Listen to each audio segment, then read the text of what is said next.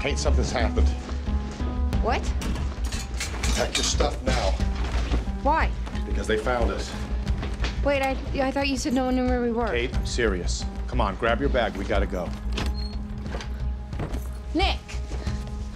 Nick! It's okay, Kate. I got a plan. I need you to do exactly what I say. We need something to separate the sheriff and the deputy. Then we can meet at the rendezvous point in 10 minutes.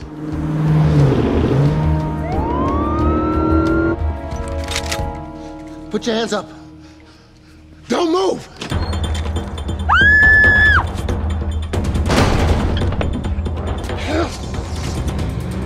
If something goes wrong, no matter what happens, get out of town and do not come back. This is non Oh, oh, oh, oh.